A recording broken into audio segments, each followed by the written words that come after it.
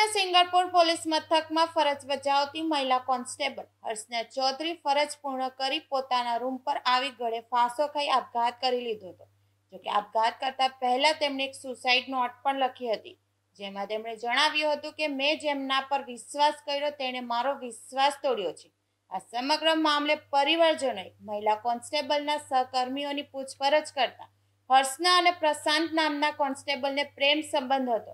બંને સિંગરપુર પોલીસ મથકમાં ફરજ બજાવતા હતા. તે દરમિયાન બંને એકબીજાની નજીક આવ્યા હતા, જેથી બંને વચ્ચે શારીરિક સંબંધ પણ બંધાયો હતો. તે દરમિયાન પ્રશાંત ભોઈ પોતાના વતન રજા પર ગયો હતો, જ્યાં તેમની બાઇક સ્લીપ થઈ જતા વતનમાં મોબાઈલ નેટવર્ક નહીં આવતા બંને વચ્ચે ઘણા દિવસ સુધી વાત થઈ ન હતી.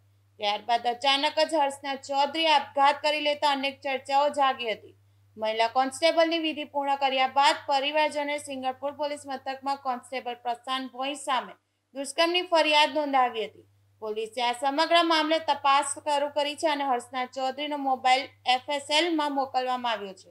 હાલ પ્રશાંત ભોઈ ફરાર થઈ ચૂક્યો છે. હાલ એફએસએલના રિપોર્ટ આવ્યા બાદ સમગ્ર મામલો સામે આવશે.